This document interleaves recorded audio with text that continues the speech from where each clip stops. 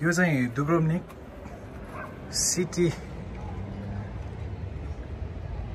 यो एकदमै धेरै सेटहरू फिल्मको मुभी सुट भएको सेटहरू रहेछ यहाँ है। यो गेम अफ थ्रोन्सको अलमोस्ट सबै सुटिङहरू क्रोसियामै भएको रहेछ। अनि मेनली चाहिँ यो दुब्रोनिक सिटीमा अहिले पनि स्टिल यहाँ मान्छेहरू काम गर्दै रहेछन् है। यो केआरको नयाँ मुभी अरू सिरिजको लागि यो पुरै सेटहरू प्रिपेयर गरिरहेको रहेछन् है। अब मेन सिटी चाहिँ अब यतापट्टिबाट देखिने सिटीको भ्यू चाहिँ यस्तो छ।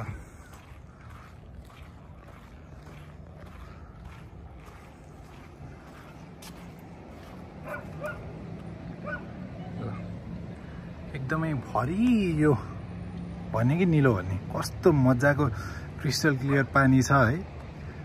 अनि त्यसपछि यो एकदम सुनौलो घाम लागिरहेको टाइम परेछ। कस्तो मजाले यो घरहरू रुफ छ मजाले है।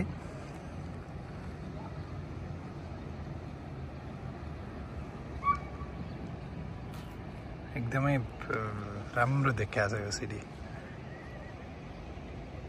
ल।